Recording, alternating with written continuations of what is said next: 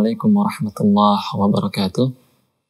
Innal hamdalillah nahmaduhu wa nasta'inuhu wa nastaghfiruh wa na'udzu billahi min syururi anfusina wa sayyiati a'malina. May yahdihillahu fala mudhillalah wa may yudlil fala hadiyalah. Wa asyhadu an la ilaha illallah wahdahu la syarikalah wa asyhadu anna Muhammadan abduhu wa rasuluh. Kaum muslimin rahimani wa rahimakumullah jami'an kembali lagi kita melanjutkan pembahasan kita di dalam kajian kitab Al-Mulakhas Syarhi Kitab Tauhid. Tentunya kita senantiasa bersyukur kepada Allah Subhanahu wa taala yang telah memberikan kepada kita banyak nikmat sampai hari ini. Yang dengan nikmat tersebut kita bisa terus tafaqquh fiddin.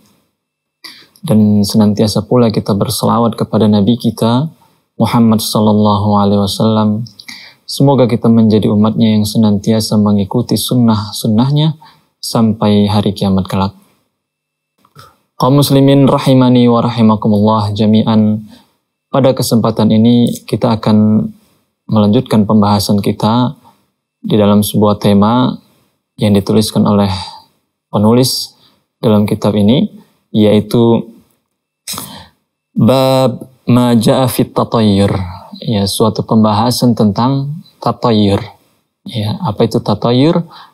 E, para ulama telah menjelaskan bahwasannya tatayur itu mengaitkan ya suatu kejadian atau suatu e, musibah ya itu dengan e, suatu hal yang e, sebenarnya tidak ada kaitannya dengan musibah tersebut ya seperti misalnya kejadian alam ya ataupun ya angka-angka dan yang lain sebagainya.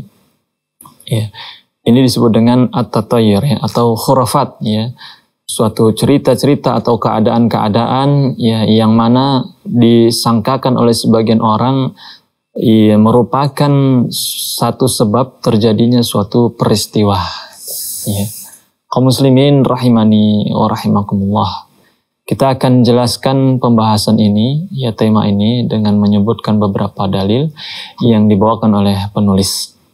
Yang pertama, penulis membawakan firman Allah Subhanahu wa taala di dalam surat Al-A'raf ah, ayat ke-131 Allah Subhanahu wa taala berfirman, "Ala inna ta'iruhum indallah walakinna aktsarahum la ya'lamun."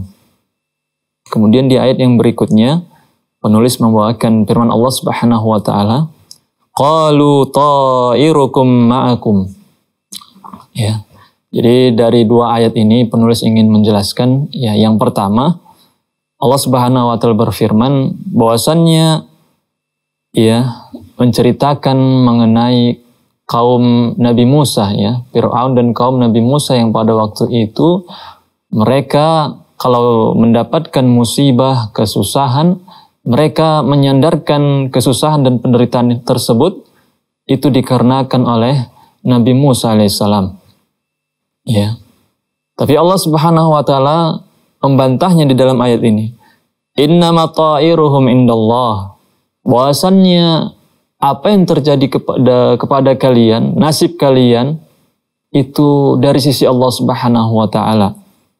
Walakinna aktsarahum la ya'lamun. Akan tetapi kebanyakan dari mereka itu adalah orang-orang yang tidak paham. Ya, mereka menyangka bahwasannya datangnya Nabi Musa dan para sahabatnya itu merupakan sebab turunnya bala. Ya. Dan Allah bantah di dalam ayat ini bahwasannya apa yang terjadi pada mereka, pada manusia secara umum, yaitu memang sudah ditakdirkan oleh Allah Subhanahu wa taala.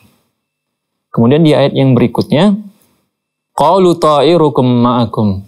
Ya, ini juga perkataan orang-orang kufar ya yang menyandarkan uh, keburukan itu menimpa mereka disebabkan oleh orang-orang yang beriman kepada Rasul.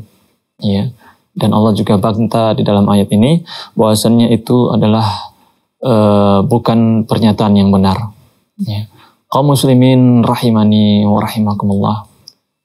Sebagaimana telah kita sebutkan tadi di uh, pertemu eh, di uh, awal pertemuan bahwasannya tatoyur ya penyandaran suatu peristiwa ya yang disebabkan oleh uh, kejadian alam dan lain sebagainya, ya ini merupakan ya kesalahan ya, khurafat, ya tidak benar.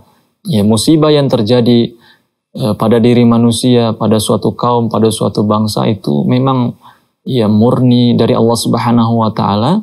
Tentunya Allah memiliki ya hikmah dalam penurunan bala dan musibah itu yang disebabkan tentunya oleh kemaksiatan ya masyarakatnya kaum muslimin rahimani wa rahimakumullah.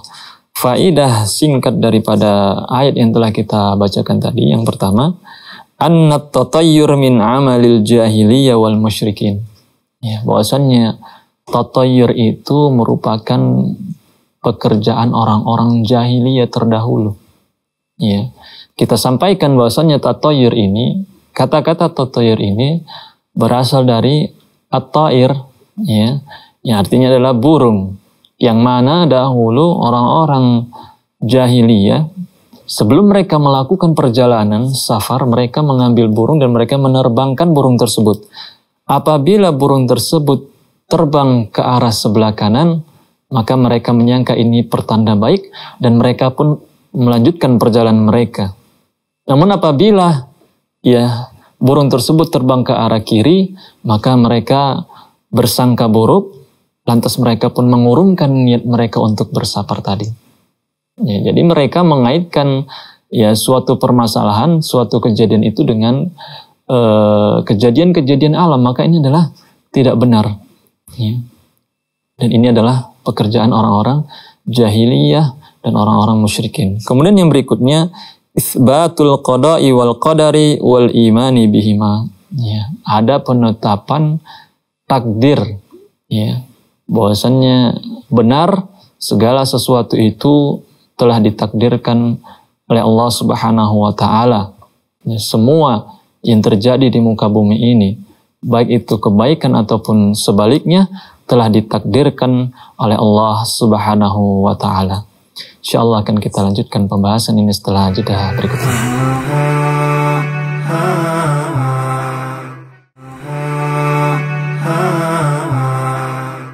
Alhamdulillah, salatu wassalamu ala rasulillah ya mabadu.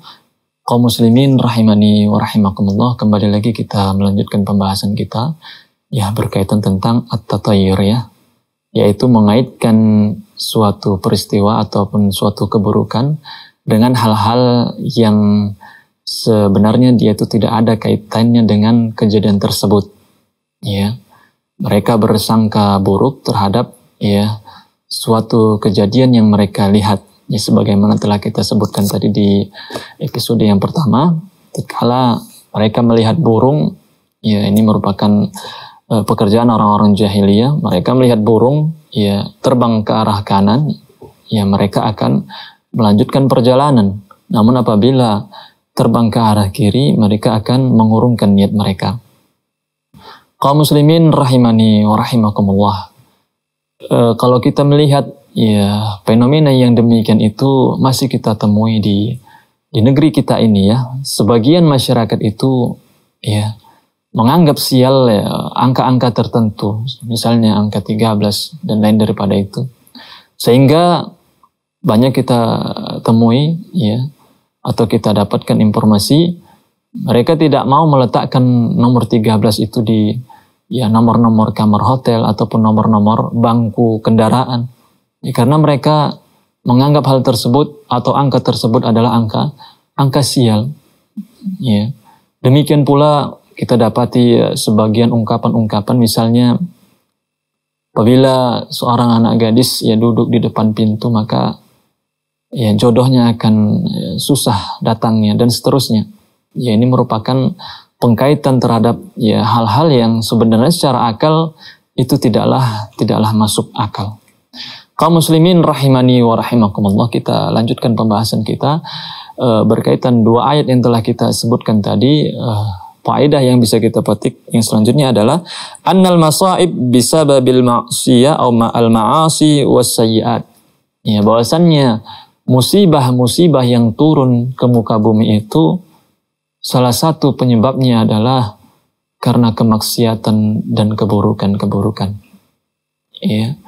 Kemaksiatanlah yang mengundang datangnya musibah ya musibah yang ada di muka bumi ini baik musibah itu menimpa diri individu menimpa keluarga ataupun menimpa suatu masyarakat secara umum maka ketahuilah itu tentunya ya bisa disebabkan karena maksiat yang dilakukan oleh oleh orang tersebut atau oleh keluarga tersebut atau oleh masyarakat tersebut. Ya. Oleh karenanya orang-orang yang ingin tentunya jauh dari musibah, maka dia harus meninggalkan itu kemaksiatan.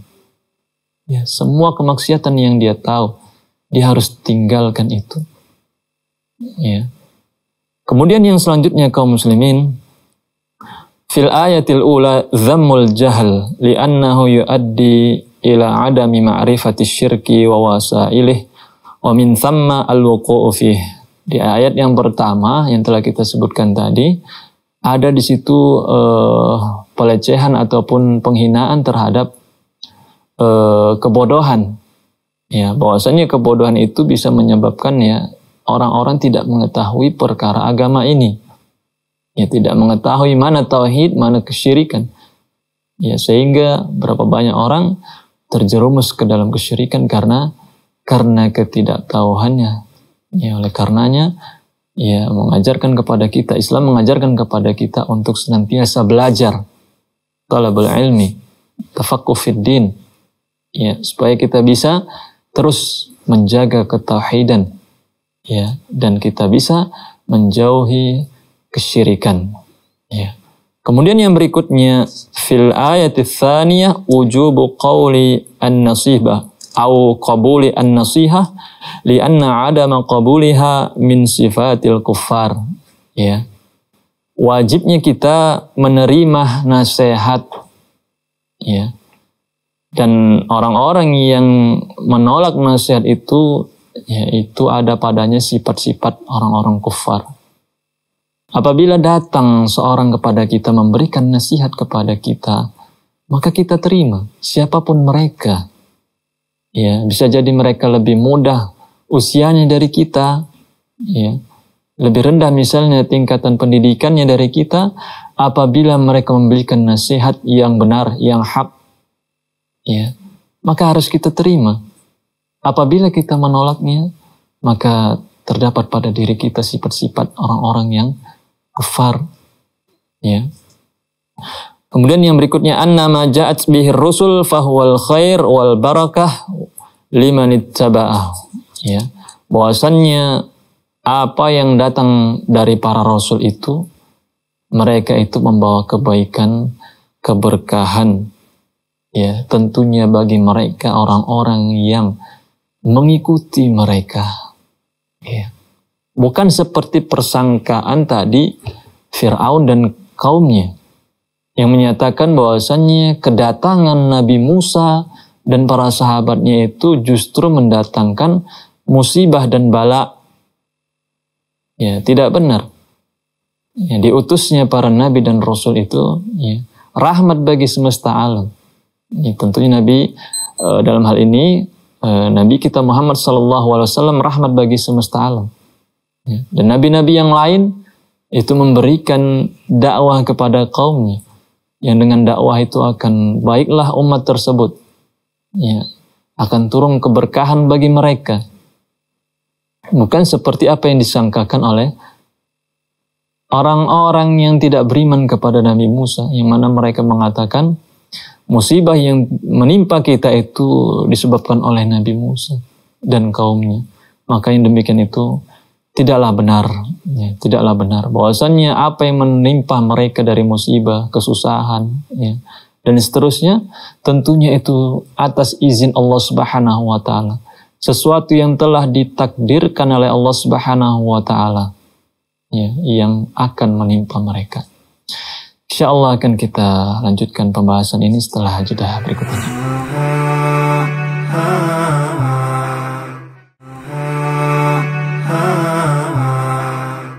Alhamdulillah, salatu wassalamu ala rasulillah ya mabadu kaum muslimin rahimani wa rahimakumullah jami'an. Kita lanjutkan pembahasan kita di dalam kitab Al-Mulakhas Bisyarhi Kitab Tauhid. uh, di dalam bab ya at-tatayyur kita akan membacakan pada kesempatan ini satu hadis dari Nabi kita sallallahu alaihi wasallam wa an Abi Hurairah radhiyallahu an anna Rasulullah sallallahu alaihi wasallam qala la adwa wa la tiarata wa la hamata wa la safar akhraja dari Abu Hurairah bahwasannya Rasulullah Sallallahu Alaihi Wasallam suatu ketika pernah bersabda, tidak ada itu yang namanya penyakit menular. Demikian pula tidak ada yang namanya at-tatayyur. Demikian pula tidak ada yang namanya ya burung hantu yang membawa musibah. Demikian pula bulan safar. Kaum muslimin rahimani wa rahimakumullah. Di dalam hadis ini Nabi kita sallallahu alaihi wasallam menjelaskan apa yang diyakini oleh orang-orang jahiliyah terdahulu yang mana mereka memiliki keyakinan e, persangkaan yang buruk terhadap hal-hal yang telah kita sebutkan tadi ya seperti mereka berkeyakinan buruk di pada bulan Safar demikian pula ketika ada ya burung hantu ya demikian pula apabila e, melihat hal-hal yang e, seperti yang telah kita sebutkan yaitu uh, atau toyur ya melihat hal-hal yang mereka tidak sukai misalnya lantas mereka pun akan bersangka buruk. Ya seperti mereka melihat misalnya uh, ular lewat ya di tengah jalan ya dan lain sebagainya. Kaum muslimin rahimani wa rahimakumullah tentunya uh, Nabi kita Shallallahu Alaihi Wasallam menjelaskan ya perkara-perkara ini ya ingin membantah apa yang diyakini orang-orang jahiliyah yang mana mereka ya pesimis terhadap hal-hal yang telah kita sebutkan tadi ya. Dan ini banyak kita melihat ya sebagian ya, masyarakat. Ketika mereka melihat misalnya ataupun mendengar ada di sana burung hantu misalnya yang bersuara lantas mereka berkeyakinan akan ada musibah turun atau mereka berkeyakinan akan ada orang yang meninggal pada waktu itu. Ya. Demikian pula sebagian masyarakat mungkin berkeyakinan di hari-hari tertentu atau di bulan-bulan tertentu itu uh, mengandung uh, apa namanya kesialan sehingga mereka pun tidak mau melaksanakan di sana acara-acara pernikahan misalnya. Ya. Yang demikian itu telah dibantah oleh Nabi kita Shallallahu Alaihi Wasallam. Ya. Di dalam hadis ini Nabi Shallallahu Alaihi Wasallam bersabda, la adwa diawali dengan la adwa. Tidak ada itu yang namanya penyakit ya berpindah dengan sendirinya ataupun menular dengan sendirinya. Ya. Ketahuilah bahwasannya penyakit itu ya turunnya dari Allah Subhanahu wa taala. Ya, dan Allah lah yang bisa mengangkat penyakit tersebut. Apabila ada orang lain yang ter, tertular karena seseorang, maka tertularnya itu bukan hanya ya berpindah secara zat begitu saja tanpa izin dari Allah Subhanahu wa taala. Tentunya telah diizinkan dan telah ditakdirkan oleh Allah Subhanahu wa taala. Ya. Pernah ada seorang mengeluh kepada Rasulullah ya tatkala melihat ya binatangnya banyak yang tertular suatu penyakit ya. Lantas Rasulullah SAW eh, membenarkan uh, bahwasannya uh, memang benar adanya penularan itu, tapi itu semua atas takdir dari Allah Subhanahu wa taala. Kalau tidak dari mana? Ya, binatang yang pertama kali itu terkena penyakit kalau bukan dari dari Allah Subhanahu wa taala. Ya, oleh karenanya yang harus kita perkuat adalah keyakinan kita, tawakal kita kepada Allah Subhanahu wa taala. Terlebih lagi kita di zaman pandemi ini ya ya, penyakit menular, ya, maka yang harus kita perbaiki adalah ya, tawakal kita kepada Allah Subhanahu wa taala. Ya, penyakit itu menular, virus itu menular tentunya karena kehendak Allah Subhanahu wa taala, bukan hanya sekedar berpindah dari satu orang ke orang yang lain. Ya. Berapa banyak orang yang berdekatan namun tidak tidak ya, terkena penyakit. Ya, selalu berdekatan, selalu bersama tapi tidak terkena. Tapi berapa banyak juga mungkin orang yang hanya sekali berpapasan langsung terkena. Karena memang penyakit tersebut tentunya berpindah karena karena takdir dari Allah Subhanahu wa taala.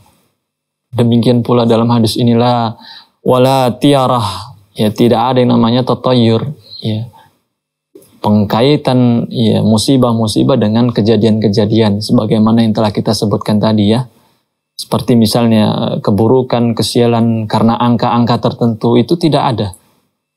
Dan orang yang berakal itu tidak akan menerima hal tersebut. Bagaimana mungkin di kamar nomor sekian, ya itu adalah kamar yang sial. Di mana pun tempatnya apabila dijumpai angka sekian maka akan mendapatkan kesialan. Akal mana yang bisa menerima hal tersebut? Ya.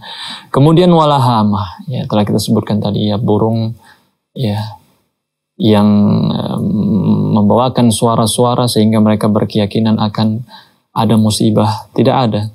Ya, tidak ada kaitannya burung yang bersuara dengan turunnya musibah, dengan turunnya kemalangan dan seterusnya. Tidak ada. Kemudian wala safar, ya sebagaimana yang diyakini oleh orang-orang terdahulu, bahwasanya di dalam di dalam bulan safar itu ya terdapat kesialan, ya, yang mana orang-orang yang ingin melakukan kegiatan maka dia akan mengurungkan niatnya. Maka Nabi Shallallahu Alaihi Wasallam membantah hal tersebut. Kaum muslimin rahimani wa rahimakumullah jami'an. Yang intinya yang perlu kita ketahui dan kita tanamkan dalam hati kita segala sesuatunya itu telah ditakdirkan oleh Allah Subhanahu wa taala. Maka wajib bagi kita untuk berhusnuzon, berbaik sangka kepada Allah Subhanahu wa taala dan meninggalkan buruk sangka kepada Allah Subhanahu wa taala. Ketika kita bertawakal dan berbaik sangka kepada Allah Subhanahu wa taala, maka pada waktu itu kita telah menjaga ketauhidan kita.